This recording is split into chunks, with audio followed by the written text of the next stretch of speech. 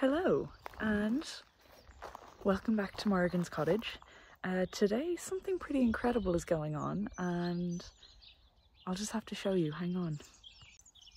So the incredible thing that's going on is that it is absolutely beautiful outside. I don't think I've been here on a day where the sun has been shining, there's not much wind. In fact, there's almost no wind. Look at this bone dry. The ground is dry. Like it's just something else. The garden, every time we come down, is more overgrown, which is mad because we've just started cutting the grass. Um, but yeah, look at this.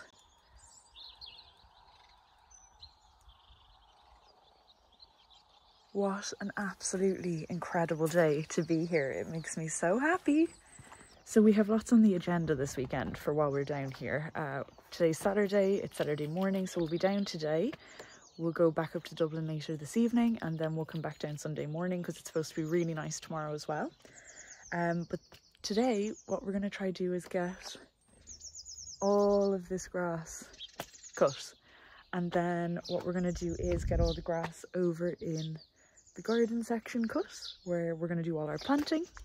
Um, I'm just stoked. I'm so happy to be here when it's absolutely freaking beautiful outside. Like this is, we're living the dream today. Today is the dream and we are living it. Are you living the dream, Morrigan? She is. She didn't say yes, but she is.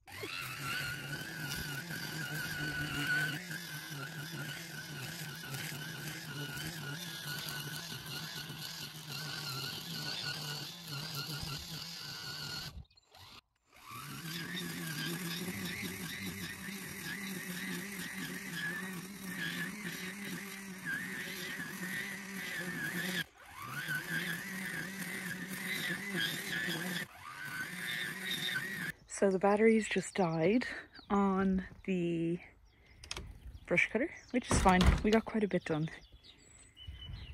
So just to show you how we're looking now, we've got this whole section. Morgan's being such a good girl. Morgan's being such a good girl. Come here. Do you want to come in? There you go.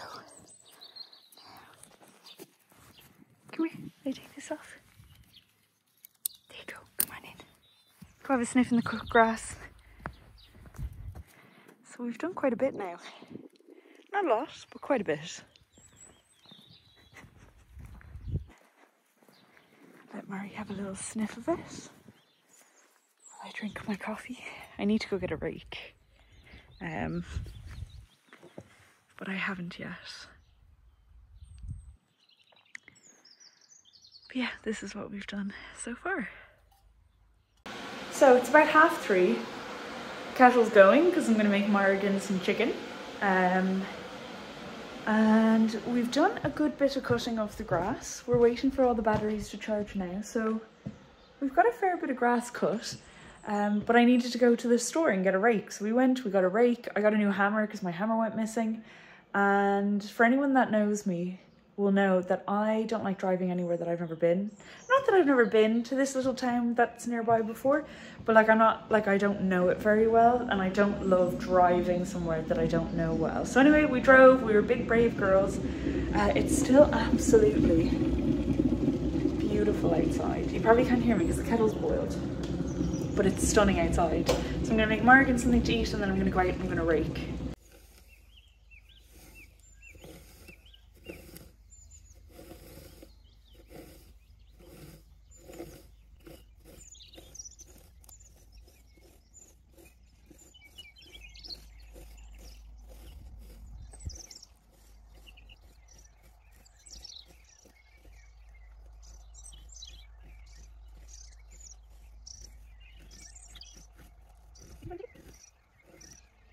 anything. Does.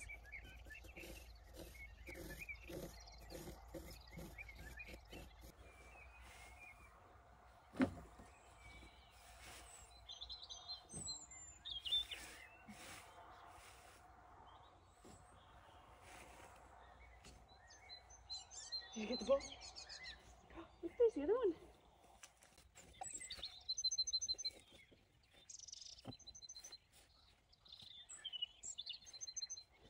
You good?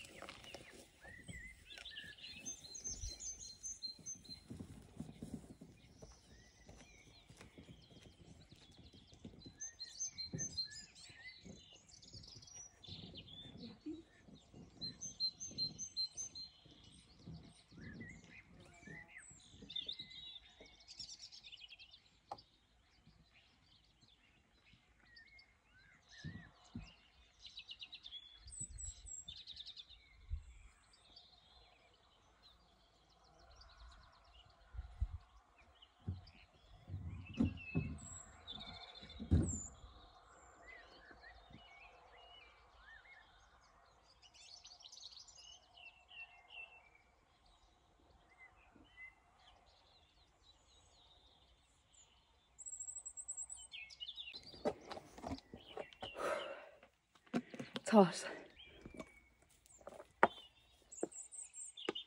A little progress on the grass. Obviously, we haven't touched anything over there, but we've done kind of all. That's the boundary. We've done all over here.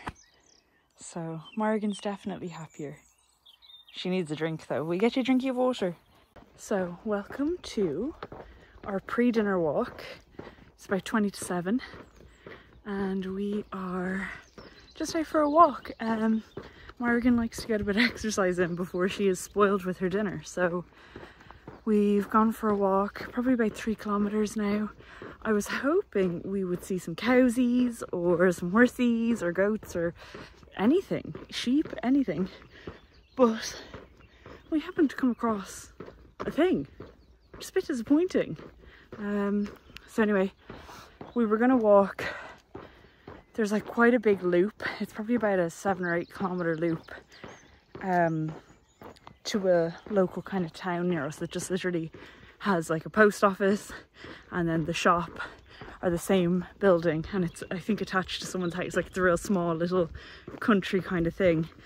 So we were going to walk up to that but it was still about a half an hour away from where we are. And we've been walking for about 40 eh, no maybe 35 minutes. Um, it's quite warm and I think Miss Morgan could do with a drink and I didn't bring one with us. So anyway, we're gonna go back to the house um, because yeah, it's just maybe a bit hot. So, but she's having a good walk. Oh, I think I see teenagers ahead out on their own little walk. Terrible. Um, but they're past where we were going, so we won't see them.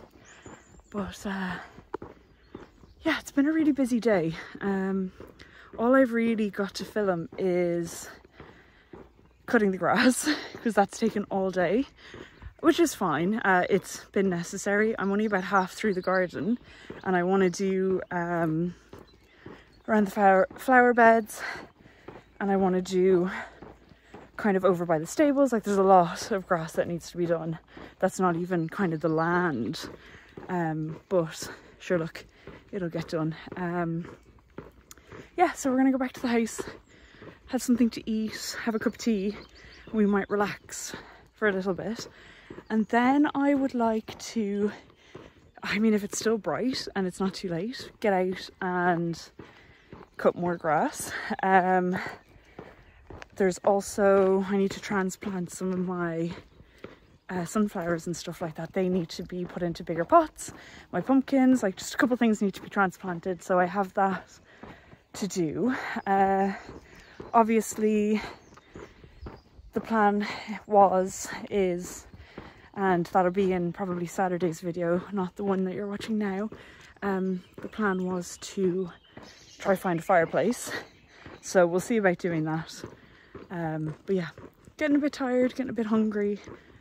Definitely need a drink of water and a cup of tea. So I thought I'd just check in. I haven't really done a lot of it um, filming today because it's just been so busy. So I don't know what's going to go in the video for Saturday. I have lots for Wednesday. She can sense some cows are coming up. Oh, off she goes. So I don't have a lot going on with the cottage at the moment. Um, so to keep the two uploads a week, I'm thinking I might have to do like kind of more about the garden in both of the videos, unless people would just rather I didn't post twice a week. Um, we're just kind of at the point now with the cottage that until we get the go ahead for the grant people, which I haven't applied yet, um, I plan on applying in May, just because apparently in the next couple weeks they're going to announce maybe improvements to the grant, so the, for the sake of a couple weeks. And also, I haven't got, um, well, there's a couple things. So, I haven't got my quotes for the windows and doors. Then, when I was speaking to the person that used to live in the house today, um, they mentioned that, yeah, at one point in time, the roof at the back of the house blew up and almost off. So, um, I think I should get a roof out to look it over. Now, I think a roofer is going to tell me it needs to be replaced, which financially I just, that's not in the budget. Um, but at least if they could give me an idea on will it last? I mean, there's been some pretty gnarly storms the last couple of weeks and it hasn't blown off. So I'm hopeful that would maybe signify we're okay and it's not going to blow off. But I just think based on what was said, a roofer should come out and look. Then the person also said she um they were like the plumbing's not great. And I was like oh god. Like the heating the heating plumbing if that's what you call it the piping for the heating is not great. And she's like eh like the plumbing plumbing might not be great. And I was like darn it. So um potentially maybe I should get a plumber in and look at the plumbing nothing appears to be leaking. Everything seems to be working. The taps are all working. Like maybe she means like from the well, I don't know. But anyway, so I'm like, oh, maybe I need to get a plumber in. So regardless, I think a roofer needs to come. Uh, so yeah, that's where we're at. That's, I mean, I haven't applied for the grant because I don't have my window and door quotes yet. But now I can't really apply until I get a roofer in. And also probably I should get a uh, plumber in as well. So, uh, not ideal, but sure you learn. But anyway, nothing but road behind me. Nothing but road in front of us. Murray's leading the way. We're just at our turn now to turn up kind of towards the laneway by our house so it's been a really nice walk. Wasn't hungry before the walk and now I'm famished. So yeah a little bit disappointed. We saw some horses that were like really far in the distance. A lot of the land around here doesn't seem to hold animals. It seems to just be left. A lot of it's forestry. There's a forestry company that seems to own a bunch. And then the rest just seems overgrown. So that's disappointing. I kind of thought i'd live near animals so i'm gonna have to be the one with the animals that's it. It's been decided. Um, but yeah we're gonna sign off for now. We're gonna enjoy the rest of the walk and then I'll pick you up hopefully later on. Uh, like I said it's kind of coming up on seven so we'll have something to eat. If there's still light we'll uh, get back out into the garden and get more of the grass cut. And if there's not light we might or depending we might just do the the planting and then uh, then it'll be home time.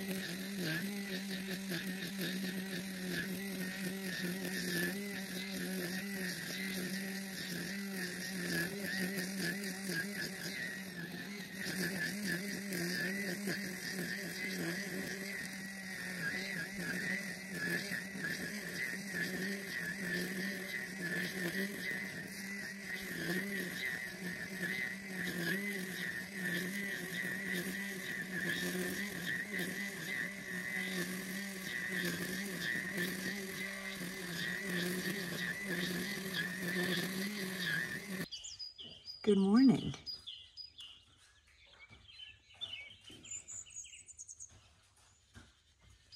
So, we have a couple things we want to do today. she just loves that ball.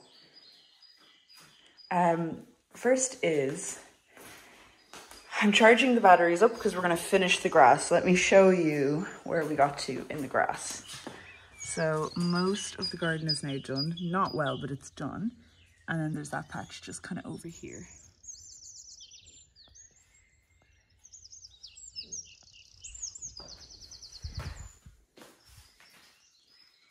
Good girl, honey, get that ball.